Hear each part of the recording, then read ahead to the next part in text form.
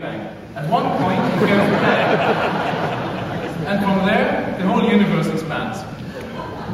Now, this is not really how it happened. Um, in fact, if we go back in time, we know we don't know exactly how big the universe is, but we know at least how big it is because we can see quite far into the universe. If we take that region move, and move it back in time, hold it back in time, one finds that actually when you get to the time of the Big Bang, you don't get to a point, but you get to a whole surface, to lots of regions. So the Big Bang didn't happen at a point, but at lots of different places.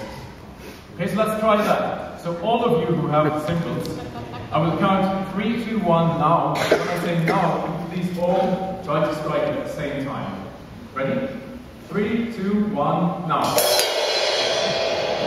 Okay, so that's what it looks like. now, if you think about it, trying to think that this was the beginning of time makes no sense at all. Because we know from this baby picture of the universe that these, these big bangs are all almost identical in all these different places. So you have to imagine that you have all these big bangs going off at the same time, in the same way, without there being time before. So how do you synchronize that? How do you... There, the only way we could do it here is because we could communicate before.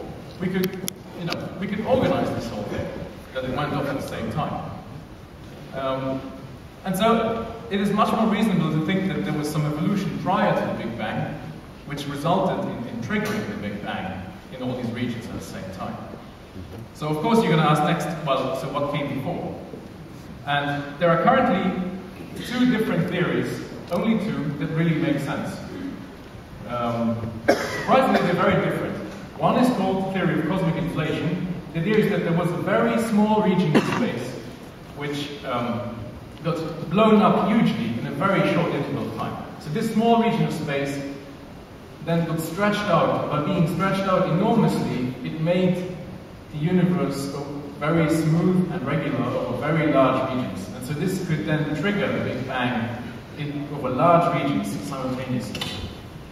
The second idea is very different, namely that the universe goes through cycles of evolution. The universe expands and contracts um, alternatively.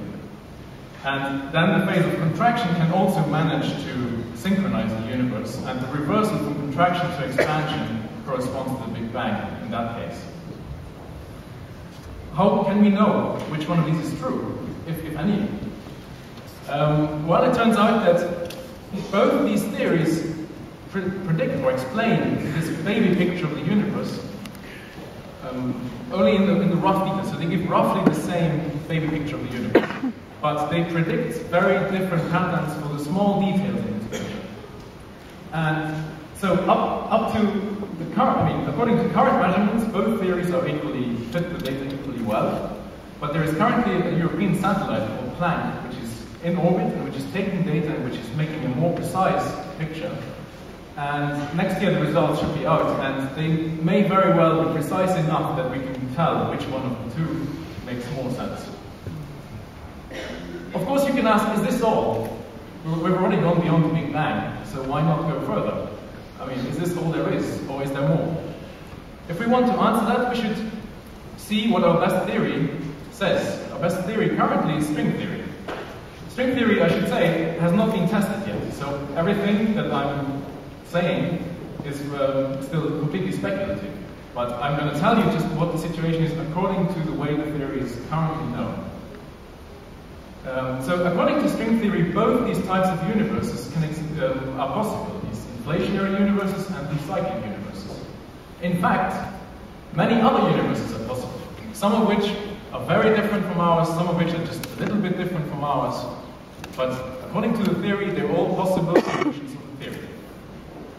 Moreover, if the theory is right, these are not just theoretical possibilities, but all these universes are real.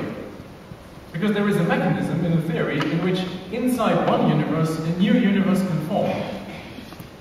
This only happens very rarely and requires a very large quantum jump of a whole region of space. And so it's very rare. Um, but there is plenty of time in the universe. So it will happen necessarily.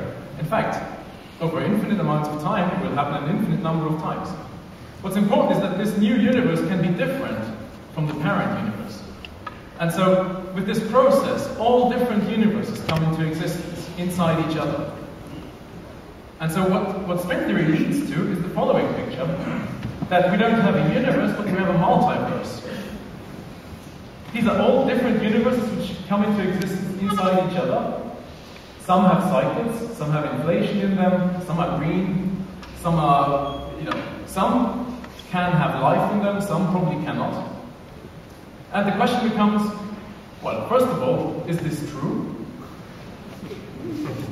And do we, can we test this?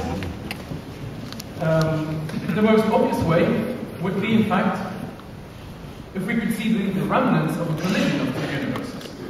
So it happens in this picture, for example, up on the left, I've shown it in this small yellow triangle. If two of these universes form close together, they can actually collide, because they're both expanding, they can collide with each other.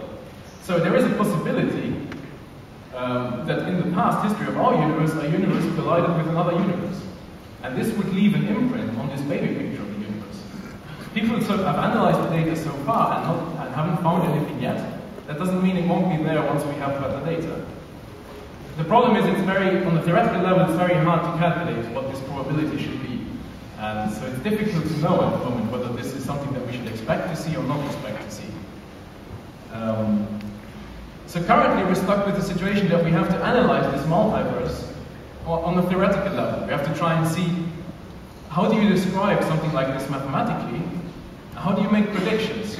How can you find out where we should be, which universe we should be in?